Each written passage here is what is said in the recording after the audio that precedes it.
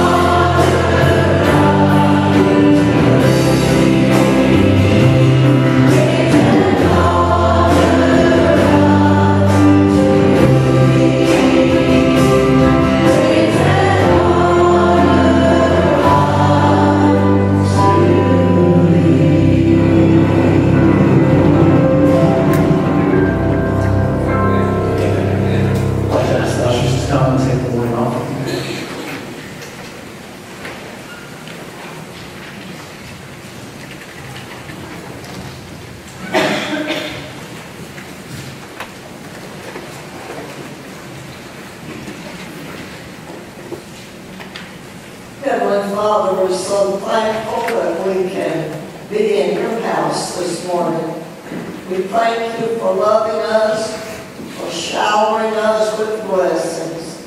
We ask you to forgive us of our sins, wash us white as snow. We thank you for the opportunity to give back to you a portion that you have allowed us to earn. Help us, Lord, to be grateful, to be thankful. Help us, a church, to use the funds in ways to share the good news to those who are lost. We thank you for the day that you've given us. Help us to use it and to thank you for the precious opportunity. In your precious name we pray. Amen.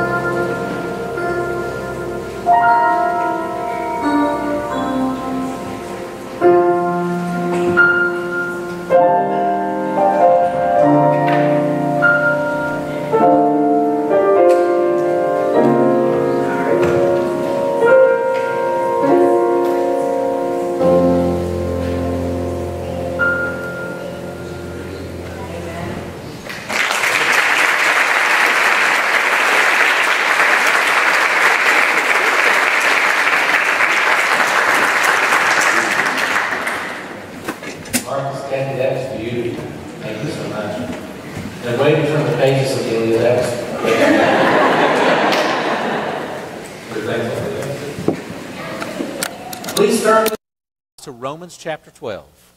Romans chapter 12. We've been gradually working our way through the book of Romans for a long time. We're still in the middle of chapter 12, so please turn there. That's page 803 in the Bibles in the pews.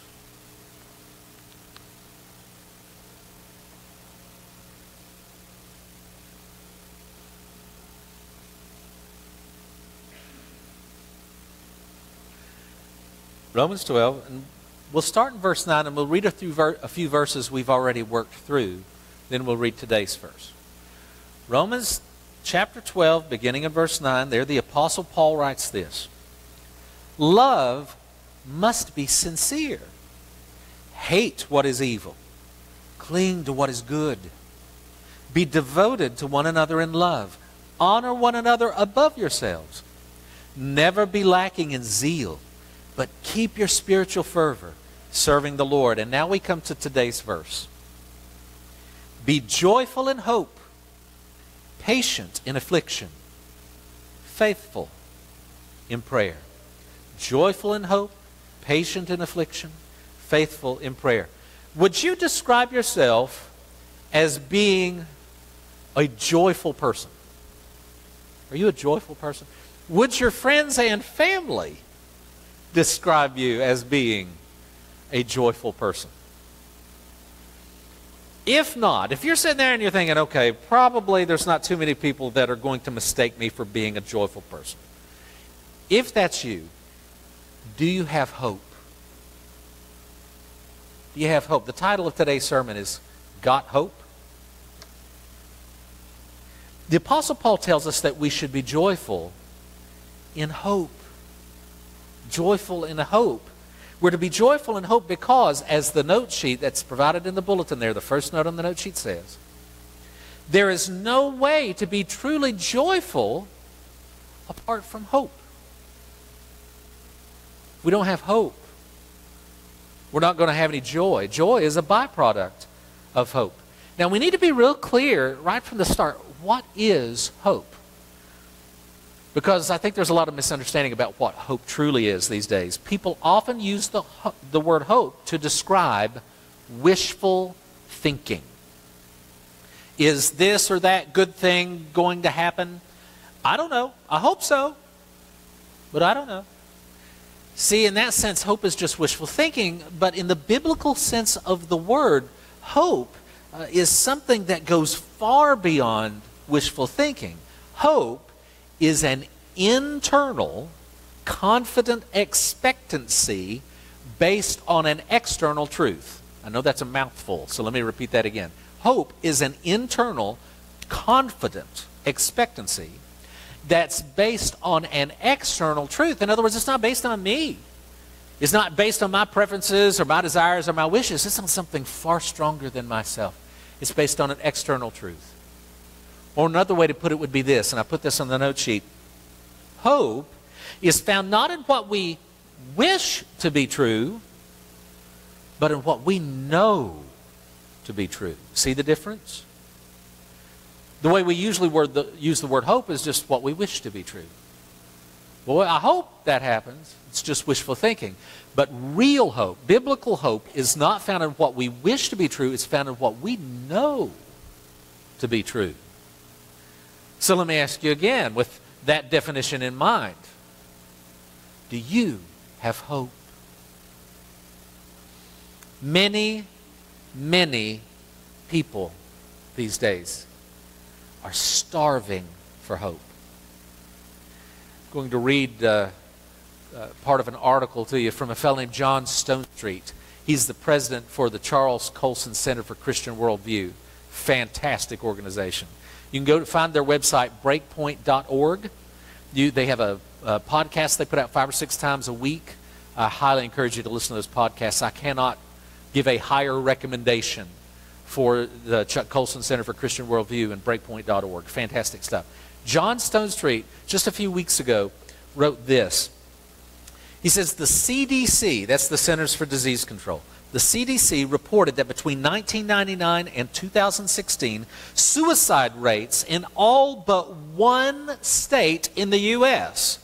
across age, gender, and ethnic lines increased. Suicides, in fact, are the second leading cause of death for people ages 15 to 34. Isn't that staggering?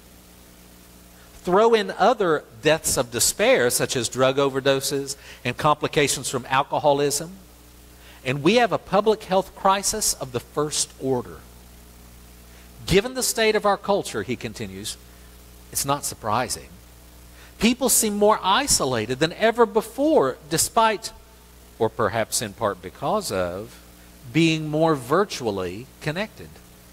Loneliness and depression are epidemic and rising, and the mediating institutions of communities, like families, churches, civic organizations, are struggling, to say the least. Social ties are fraying at an astonishing pace, and then he sums it up with this statement. In our society, it's increasingly difficult for individuals to be spiritually, mentally, and emotionally healthy. Would you agree with that assessment? In recent months and years, we've even had quite a few celebrities commit suicide. I think it's easier to understand when a person when the person committing suicide is someone whose life appears to have just fallen apart. It's easier to understand that. It's but when people when they seem to have everything that the world chases after when they've got wealth, fame, success, when those people commit suicide. It's shocking. And it's a strong reminder that no matter how much money or awards or popularity a person has, if he or she does not have a solid basis for hope, then it's just not enough. Remember, hope is not merely wishful thinking. It's something based on solid reality and external truth. As the next note on the note sheet says, hope is absolutely necessary for human flourishing. It's absolutely necessary. Just the way that we humans are created, just the way we're wired, part of the fuel, the necessary fuel we run on, is hope. You got to have it.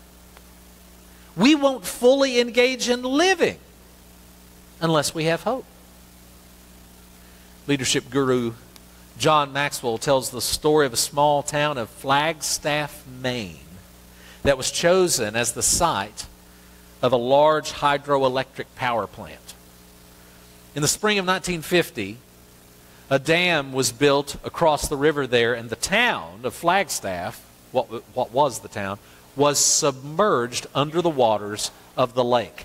And before they did this, of course, many months before, they let the people know what was happening. They gave them ample time to prepare and get things in order and make the necessary adjustments. Because the lake was coming and the town was going to be gone. Now, during those months leading up to the installation of that dam and the submergence of the town, during those months leading up to that, an odd thing happened in the town. I guess it's not so odd when you think about it. But all improvements in the town ceased. No painting was done. What was the use of painting a house if that house was going to be underwater in six months? No repairs were made on the buildings, on the roads, on the sidewalks. Day by day, the whole town got shabbier and shabbier. And a long time before the waters even came, the town looked uncared for and abandoned, even though many of the people were still living in the town. As one citizen of the town put it, and I put this on the note sheet, one of them said, Where there is no faith in the future, there is no power in the present. Where there's no faith in the future, there is no power in the present. Flagstaff, Maine was a town without faith in the future, it was a town without hope where there's no faith in the future, there's no power in the present. You know, that's not a bad definition of hope. Faith in the future. A firm conviction that everything really is going to be all right. It's going to be okay. In the Nazi concentration camps of World War II, the survival rate of the prisoners was incredibly low. As a matter of fact, did you know that if you were a prisoner in a concentration camp in World War II, your chance of survival was you had a 1 in 28 chance of survival. Out of every 28 people that went into a concentration camp, only one survived. Terribly low survival rates. Psychiatrist Viktor Frankl, some of you might recognize that name, he was one of the very few who survived being a prisoner in the no- notorious camp Auschwitz. So here you have this psychiatrist, this person who His specialty is understanding why people do what they do. And he's placed in an unimaginable, unimaginable situation with people doing unimaginable things to each other. In his thought provoking book, Man's Search for Meaning, Frankl discusses why some in the camp survived and some did not. And he said that the survivors were the ones who found some way to hold on to hope. In that book, he wrote this. He said, The prisoner who had lost faith in the future, his future, was doomed. With his loss of belief in the future, he also lost his spiritual hold. He let himself decline and became subject to mental and physical decay.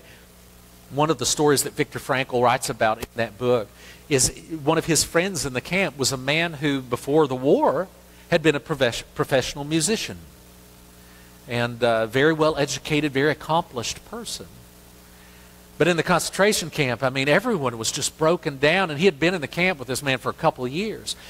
And one day the guy came to him, and he was just bubbling over with excitement. And, and Frankl asked him, What's going on? And he said, Victor, I had this dream.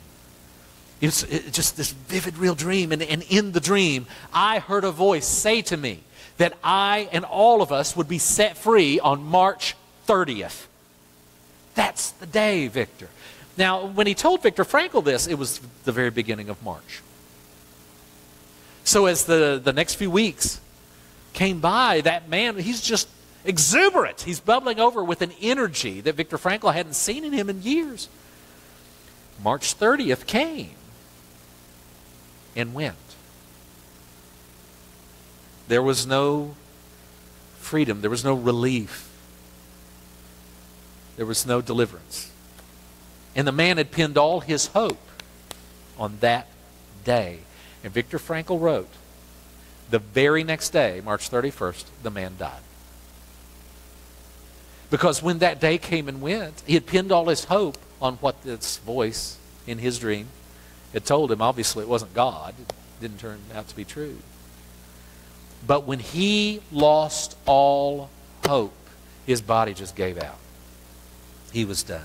When a person doesn't have faith in the future, it can be debilitating, even life ending. But when a person does have faith in the future, when a, when a person does have hope, it can be life giving.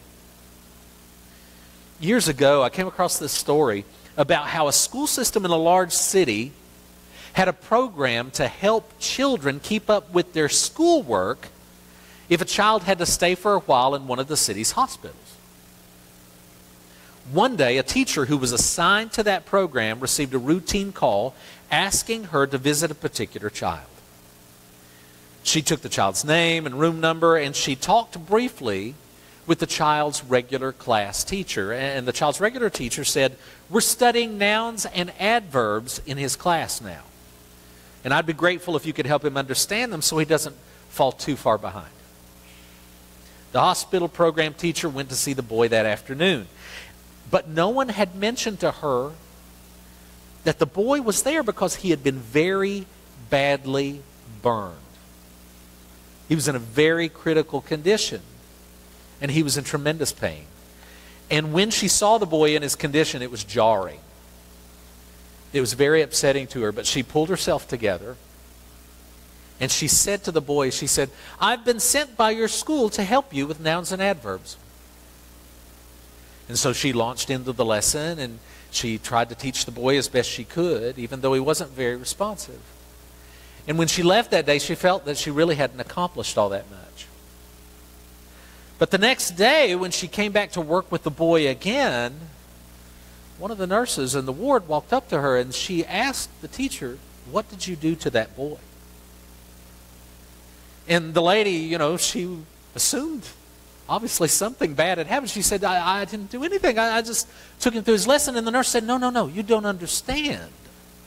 We've been worried about that little boy because he's not been making any progress. But ever since yesterday, his whole attitude has changed. He's fighting back. He's responding to treatment. It's like he's decided to live.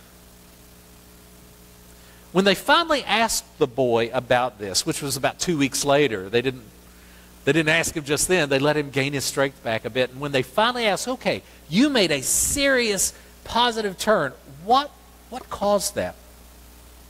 The boy explained that he had completely given up hope until the teacher arrived. Everything changed when he came to a simple realization. And here's how he put it this is what he said They wouldn't send a teacher to work on nouns and adverbs with a dying boy, would they? They must think I'm going to live. And that changed his whole perspective. Even though the teacher may not have even realized it, what she did just by being there and teaching him the lesson, it gave him hope. And hope gave him life. As we've been, you know, following the story of those boys trapped in that cavern over in Thailand, one of the things that's gone through my mind, you know, since I've been preparing this sermon, is I hope that they're doing something to give those boys and that coach hope. Hope is absolutely necessary for human flourishing. As a matter of fact, hope is a crucial part of our walk with God. As we're about to see, it's foundational to who we are as followers of Jesus. For example, the Apostle Paul, writing in Colossians chapter 1, Paul in Colossians 1 wrote this. He said, We always thank God, the Father of our Lord Jesus Christ, when we pray for you, because we've heard of your faith in Christ Jesus and of the love you have for all God's people. The faith and love that, watch this, spring from the hope stored up for you in heaven, and about which you've already heard in the true message of the gospel. The faith and love that spring from the what? Hope. That's stored up for you in heaven. Our faith in Jesus, that is our willingness to trust Him, and our love for others both spring from, they both bubble up from our hope. And what hope is that? The hope stored up for us in heaven. The hope stored up for us in heaven. And what hope is stored up for us in heaven? The solid reality of eternal life with and in Almighty God. As the note she says, in Jesus, we have a destiny that is indescribably wonderful. In Jesus, and this isn't just wishful thinking. We have the solid reality, a promise from Almighty God of a glorious destiny that's indescribably wonderful. Do you remember when Jesus' friend Lazarus died? And Jesus intentionally shows up late with his disciples, and the man's been dead for four days, and his sister Martha runs out to talk to Jesus, and she's like, Jesus, if you'd been here, my brother wouldn't have died, and she's all torn up. And then Jesus says this, this is John 11, says, Jesus said to her, I am the resurrection and the life. He who believes in me will live even if he dies. And everyone who lives and believes in me will never die. Do you believe this? Do we believe that? Do we? Do we know that? How do we know that Jesus is the resurrection and the life? Remember hope is not about what we wish is true, hope is what we know is true. So, how do we know that Jesus is the resurrection and the life? Well, we know it because Jesus himself rose from the dead, right? He was tortured, crucified, killed, and buried on a Friday. And then on Sunday morning, he rose from the dead with an indestructible body that could never die again. Amen, indeed. Now, how do we know that? That's the story, right? How do we know that's true? We know that because there were over 500 eyewitnesses who saw him after his resurrection. And they didn't just catch a glimpse out of the corner of their eye. Oh, I think I saw Jesus. I think that was Jesus over there. That's not how it was. They actually talked with him. They actually ate meals with him. They hung out with him over and over for a period of 40 days. For over a month, they had extended conversations with him and interacted with him. And after Jesus ascended back to heaven, they went around telling people that they had seen the risen Christ. Now, why should we believe they were telling the truth? How do we know that? How do we know that what they were claiming was true? Well, because many of them endured serious persecution and loss because of telling others about Jesus. Many of them were even eventually killed because of their claim that Jesus had risen from the dead and was Lord of all creation. Here's the thing none of them changed their story in an effort to avoid being killed. If it was just a lie, you would think that at least some of them would have said to their executioners, Whoa, whoa, whoa, whoa, whoa, whoa, hold on. No, it, it, it's a lie. Jesus didn't really rise from the dead. We just thought it'd be fun to invent a new religion. It's a hoax. You know, don't kill me. Don't kill me. But none of them said that. Instead, they went to their graves claiming, it doesn't matter what you do to me. You can crucify me, you can chop off my head, you can skin me alive, but it's not going to change the fact that I was there and I saw Jesus risen from the dead. And you got to understand, they weren't dying for a belief. All sorts of people die for beliefs. They were dying claiming that they had actually personally experienced an event. Do you see the difference there? They didn't die claiming, I believe Jesus rose from the dead. They're, they're, they died claiming, look, I don't understand it either. I don't know how God did it, but He did it. Jesus was alive, and it doesn't matter what you do to me, it's not going to change it. I was there. That's a very different thing. Do you really think that these people would have suffered so much loss, and some of them even given their lives for something that they knew wasn't really true? Would you have done that? Would you sacrifice so much and give your life for something that you knew it's not true? I wouldn't. And I, I, it's nonsensical for me to think that they would have either. Who does that? If it's just one or two people, you could write it off as well, they were just crazy, but it wasn't just one or two people. They had hope that went far beyond this world because they knew that Jesus is the resurrection and the life. Their hope was much more than wishful thinking. Turn with me to 1 Peter chapter 1 if you would please and let's take a look at another passage about the hope we have in the risen Christ. 1 Peter chapter 1 page 857 in the Bibles in the pews.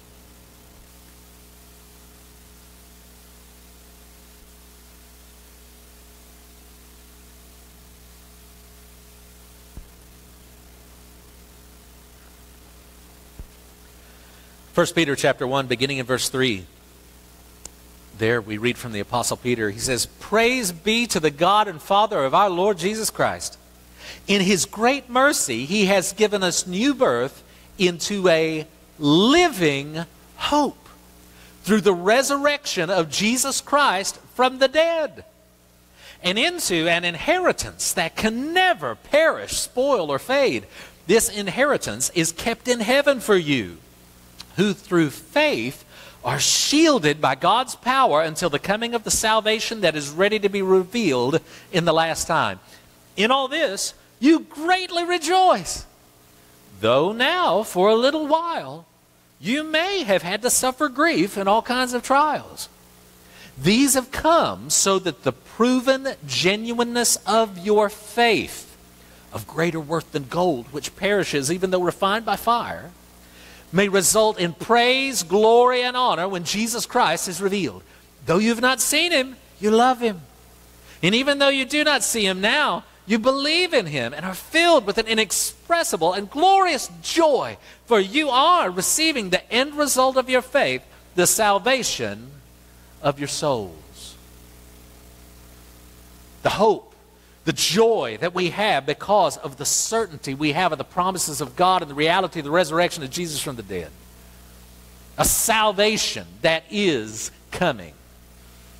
Let's look at one, one expression, one description of part of what that salvation is like. Turn with me to the end of the Bible. Go to Revelation chapter 21. All the way back toward the end of the Bible.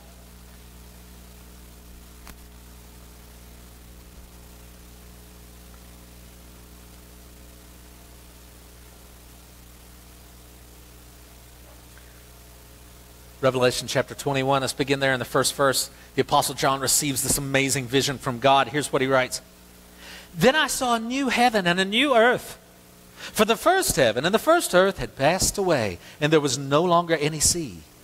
I saw the holy city, the new Jerusalem, coming down out of heaven from God, prepared as a bride, beautifully dressed for her husband.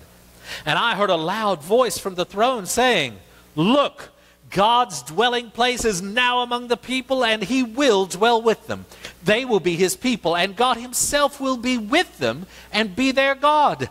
He will wipe every tear from their eyes. There will be no more death, or mourning, or crying, or pain, for the old order of things has passed away. He who was seated on the throne said, I am making everything new. Then he said, Write this down, for these words are trustworthy and true. Folks, I know that the world looks dark. I know that you look around at the news and it seems like evil has the upper hand. But guys, I've read the back of the book, and guess what? God wins. God wins. You know, I've heard some preachers say, I've read the back of the book and we win. Uh uh God wins. And we only share in that victory if we are with God. If we have surrendered our lives to Him and we have invited Jesus in as Lord and Savior, then we share in that victory. God will have the last word. The last word will not be death, the last word will not be destruction. The last word will be life, the last word will be Jesus. We have hope. Remember that the Apostle Paul taught us that, as the note sheet says, our faith in Christ Jesus and our love for others spring from the hope that we have in heaven. Our faith in Christ Jesus, our love for others spring from the hope that we have in heaven. Now, sometimes I have had conversations with non Christians where they'll push back against this in this way. What they'll say is, You, you Christians are so heavenly minded that you are of no earthly good. I've had even other Christians say, Kevin, we shouldn't focus on heaven too much. Because if you focus on heaven, people will get it in their heads, well, we don't really have to work hard and serve others and, and do like what you guys are going to be doing this week with Kentucky Changers. We don't have to inconvenience ourselves because God's going to, He's going to fix it all one day anyway. So we can just sit back and relax and not take adventurous risks for God on the behalf of caring for others because God's going to fix it all anyway. And so they'll say, don't focus on heaven. Nothing could be more unbiblical. That view is a, is a distortion of how the hope of heaven really transforms and empowers the followers of Jesus. As C.S. Lewis wrote, if you look throughout history, what you find is quite the opposite. It is the Christians who are the most heavenly minded who do tend to be of the most earthly good. For example, in the first few centuries after the resurrection of Jesus, the resurrection of Jesus occurred somewhere around 30 AD. In the first few centuries after this, Christians uh, endured waves of persecution and oppression, and yet their numbers grew and grew and grew. Within 300 years, it was the most uh, popular faith in the Roman Empire. And one, just one, of the many reasons that so many people began putting their faith in Jesus was because of the, listen to this word, fearless love of the Christians. Fearless love of the Christians. Here's what I mean. In the ancient world, it wasn't uncommon for plagues to sweep through various regions. And since they had very little effective medicine, there really wasn't much they could do about it. When a plague hit a city, you just had to endure it. And what would happen is the healthy people would pretty much all leave, even the doctors. Even the doctors, because they knew there was nothing they could do. So if you want to save your life, you just get out of there. And you would wind up that the people left behind, for the most part, were just the sick and dying. But in that, in that context, those plague filled cities, the Christians, while everyone else was fleeing the plagued cities, the Christians were actually going into the cities or staying in the cities to care for the sick and dying. Now, as you might expect, some of the Christians survived these rescue missions, and some of their patients did. But some of them died from the plague. And what that showed is that they weren't immune to this. This was a real risk. They were making a real sacrifice by, by doing this, and yet they were still doing it. They were still going into the cities. The Christians' willingness to risk their lives to take care of others had a powerful positive impact in the eyes of the non Christians. Christians became known as, listen to this, the people who do not fear death the people who do not fear death. When the non Christians saw the Christians' love for others and their fearlessness in the face of death, the non Christians became much more open to talking about this Jesus that the Christians were following, and many of them became followers of Jesus too. The Christians' fearlessness and love for others sprang from the hope they had in heaven, their eternal destiny in Jesus Christ. So don't buy into this thing of, well, we shouldn't focus on heaven too much because that means that'll keep us from serving. That's ridiculous. It is our hope in heaven that should set us free to be fearless, even in the face of, of risk and, sacri- and sacrifice and danger. Because of the hope we have in the risen Lord Jesus, we too should be fearless in the face of death and willing to lay our lives on the line to communicate the love of God to others. Do you fear death?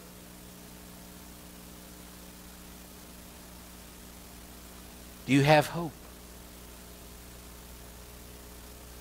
I remember years ago hearing a, one of my elderly Christian friends who've been walking with the Lord for many, many, many decades, longer than I've been alive. I was visiting her in the hospital, and I happened to mention something about, well, I'm so sorry to see you lying here in the hospital. You know, I'm sorry you're in this situation. She said, well, it beats the alternative. And what she meant by that statement is, could be worse, I could be dead. It beats the alternative. And I'm sitting there, and I didn't say anything. I just kind of smiled and nodded like pastors do. But I was thinking, I, I, nope, I don't believe that. It doesn't beat the alternative. Now, I understand not wanting to die. I don't want to die. I don't want to be a tremendous hardship on my wife, on my kids, on my family. I don't want to die. But when my family's taken care of, my kids are grown and they're off doing their thing, and my wife has already gone on to glory because I wouldn't want her to have to. Well, maybe it would bless you to deal without me. I don't know. I, am assuming. she, yeah, she's, she's like, I'm not going to say anything.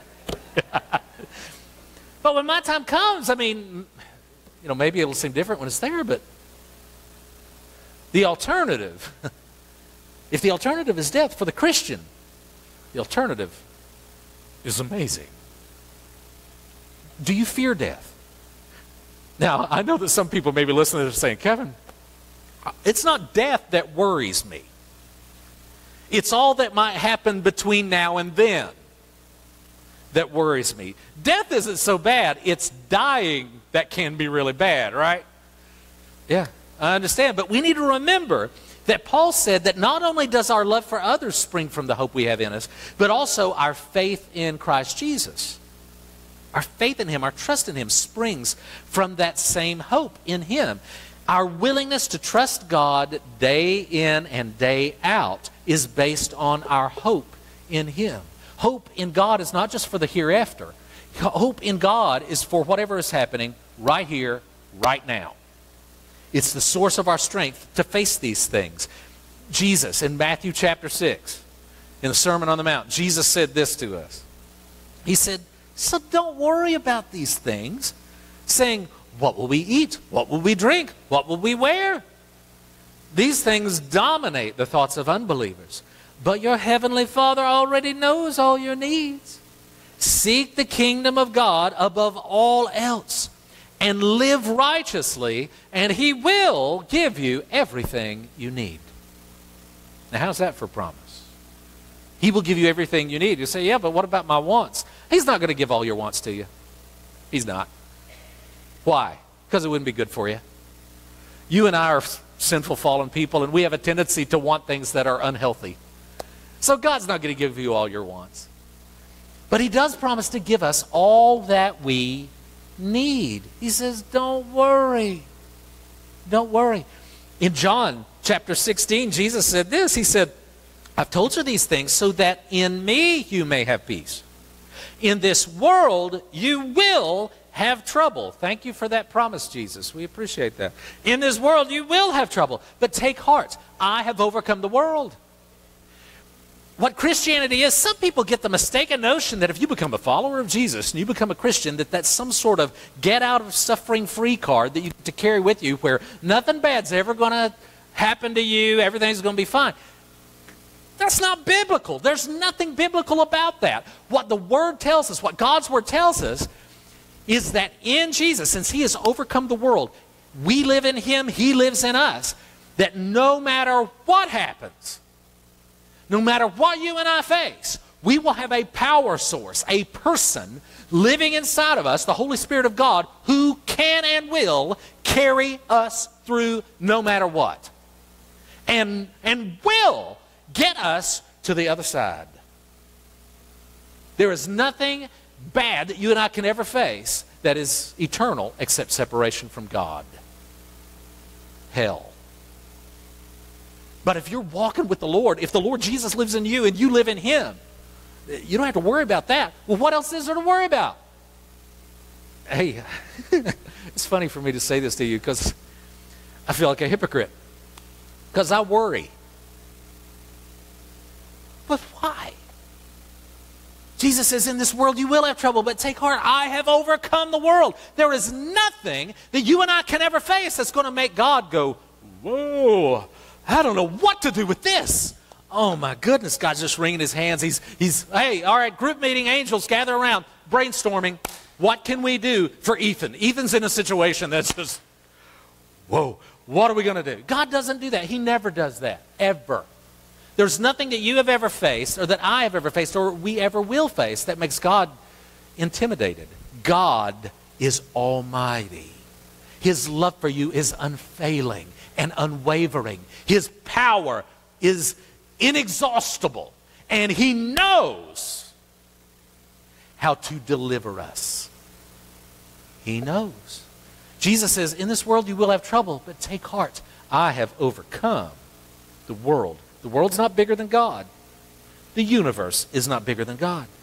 The Apostle Peter in 1 Peter 5.10, he says, And the God of all grace, who called you to his eternal glory in Christ, after you have suffered a little while, see that admission that, yeah, we all go through rough things. After you have suffered a little while, will himself restore you and make you strong, firm, and steadfast. Or how about this one, one of our favorite verses, Romans 8:28. the Apostle Paul wrote, And we know, not and we wish, and we know that in all things God works for the good of those who love him, who've been called according to his purpose. Everything you and I are walking through, and if we love him, if we're surrendered to him, he's going to pull good out of all of it. Just a few verses later in the very same chapter in Romans 8, Paul wrote, Who shall separate us from the love of Christ? Shall trouble or hardship or persecution or famine or nakedness or danger or sword? And he faced all these things, by the way. As it is written, For your sake we face death all day long. We are considered as sheep to be slaughtered. The image there is the image of a sacrifice, offering our lives as sacrifices. All these things happen to him, and yet he says, No. In all these things, we are more than conquerors through him who loved us. For I am convinced that neither death nor life, neither angels nor demons, neither the present nor the future, nor any powers, neither height nor depth, nor anything else in all creation will be able to separate us from the love of God that is in Christ Jesus our Lord. My brothers and sisters, we have hope. We have hope. Hope for today, tomorrow, and forever. A few months ago, I was talking with my next door neighbor. Standing out by my, my mailbox, and we're having a conversation. And, and this is a, a very elderly gentleman who, bless his heart, does not yet believe in God. And we're, we've had some good conversations, and I've given him some reading material, and I'm trying, but so far he's not crossed that frontier. But we're talking, and, and he, we were talking about the state of the world and all this stuff going on, and he was so worried. He just said that he's absolutely discouraged. Having lived as long as he's lived and seen so many things, he's to a place where he's so discouraged. And he looked at me and he said, Kevin, you have young children. How can you have hope? And I said, How can I have hope? I believe in God. I believe in God. You see, as the note sheet says, where God is, there's always hope. Where God is, there's always hope. Do you believe that? You might say, well, Kevin, uh, unlike your neighbor, I'm not worried about the future of the world. I'm worried about the future of my marriage. I don't know if we're going to make it. Well, listen, have you invited God into it? Have you invited Him into your home, into your situation? Have you invited Him into your life? Are you ardently trying to submit to His way, doing things His, His way, the way He wants you to do them? Because what happens is, when you do that, God, God's not a tyrant. He's not going to force his way into your situation. But if you welcome him like that, he's going to come in. And wherever God is, there's always hope. There's always hope. And that's no promise that your marriage will survive because there are two people involved in that and your spouse may not turn to God. But the hope is this there's hope for the marriage. The marriage can be saved. But even if it isn't, even if it isn't, nothing can separate you from the love of Christ. And He will not abandon you. He's overcome the world and He knows how to carry you through that beyond the pain and bring you to a place of restoration and healing. And I say that because I've lived it and I know. These aren't just words, that's my story.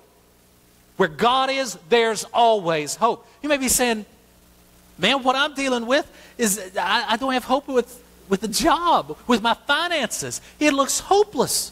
Well, have you invited God into it? Have you welcomed Him into your decision making in regard to employment, your financial decision making? Have you really said, God, you come in and you just act like God? You be God. Let's do things your way instead of my way. Because, see, what most of the time we do is we'll say, God, I'm in a mess. I've got all these problems financially. Please fix it. And what we really mean is, I want you to fix it the way I think it ought to be fixed. The way that leads to what I want my life to look like, fulfilling whatever desires I've pinned my hopes on. That doesn't work. If we're going to invite God in, we have to do it on His terms, not ours, because guess what? He's God. We're not. So if you're really going to walk with him, you got to treat him like who he is God. That means he comes in and he calls the shots. Okay, God, I'm going to take the plans I had for my employment, my finances, and all that stuff, and I'm just going to just lay it all down and let it burn on the altar. It's done, it's gone. What do you want to do? I'll do whatever you want to do. When you invite God in, what he does is he starts working things around for your good. Where God is, there's always hope. God brings victory out of defeat, He brings life out of death. He's good at this. He's had a lot of practice. He knows what he's doing. Why don't we trust him? Romans 12 12. We'll end where we began. The Apostle Paul wrote this. He said, Be joyful in hope, patient in affliction, faithful in prayer. Because of the present and eternal hope we have in Jesus Christ, we can be joyful. Christians should be the most joyful people around. Not because we're ignoring reality, but because we're totally in tune with reality. Are we joyful? If we're not joyful, shame on us. Shame on us, guys. Jesus lives. And we live too in Him eternally. We can be joyful in hope. We can be patient in affliction because there's not a thing you and I are ever going to go through that's terrible that is eternal other than hell.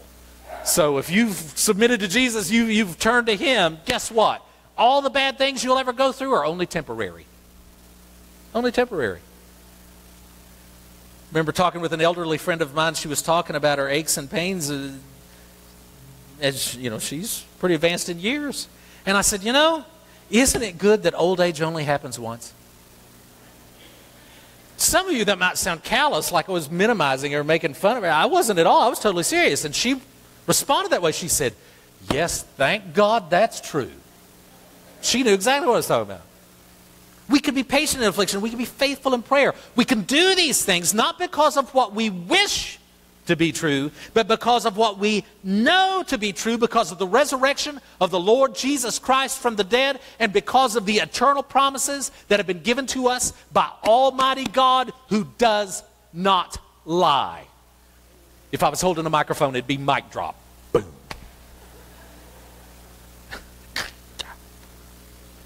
Do you have hope? If not, have you been forgetting the solid foundation that we have for our hope? Do you personally know the God of hope? Have you invited him into your life? He's already invited you. He's already invited you. Have you responded to his invitation by saying, Yes, Lord, come on in? Have you trusted him, trusted Jesus as your Savior, submitted your life to him as, as your Lord? Does Jesus live in you? Do you live in him? Because, guys, where God is, there's always hope. Always. I want to ask you to please stand and ask the musicians to take their places. We're going to enter into a time of invitation. I don't know what the Lord might be uh, saying to you. He's, he could be saying to many of us, hey, you down there doing all that worrying, cut it out. Stop it. Trust me. Whatever the Lord's saying to you, I invite you to, to just respond. If you need to make a public, uh, public uh, decision of whatever kind, I'll be here to receive you. But let's pray. Heavenly Father, thank you so much for the solid hope we have in you. Help us to get beyond the world's game of letting hope being nothing more than wishful thinking. We know that your son rose from the dead we know that you have carried us through. We could go down these pews and hear story after story after story of how you've been faithful, Lord. And you carried so many of us through things that we thought we'd never make it through. And yet you did it. Where you are, there's always hope. Hope for today, for tomorrow, for eternity. Set us free to live in joy.